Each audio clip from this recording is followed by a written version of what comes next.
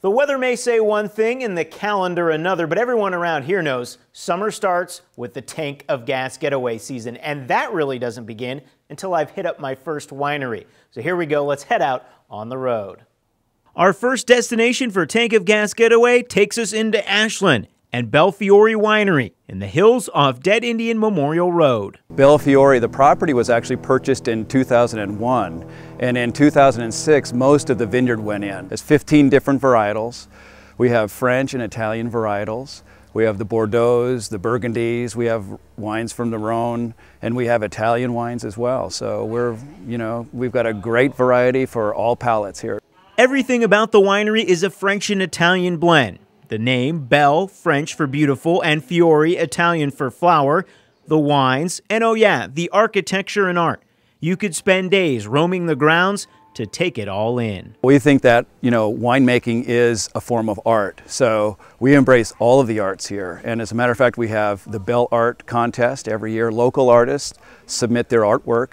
And in November, the winner is selected, and that particular work becomes one of our labels for our bottles. All right, so we're here with the winemaker, Kathy Kaigas, and tell us a little bit about this white wine we have right here. Well, this is our 2013 Sauvignon Blanc. It's 100% estate fruit. And what does this uh, really pair well with? What is the... Well, Sauvignon Blanc is a really versatile wine, but we like to pair it with grilled chicken. You could have it with a really nice uh, summer soup. Um, any kind of fresh salads, anything green is really lovely.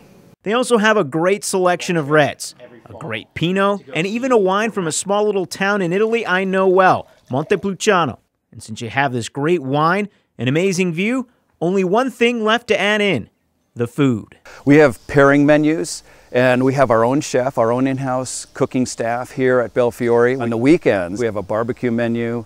Uh, that's barbecued tri-tip and barbecued uh, chicken, grilled chicken. And uh, these complement many of our different labels very well.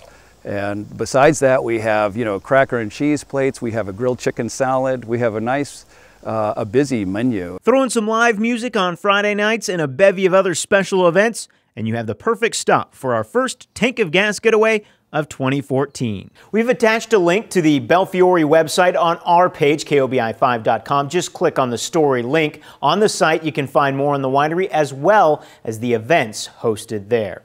In studio, Joe Camerlingi, NBC5 News.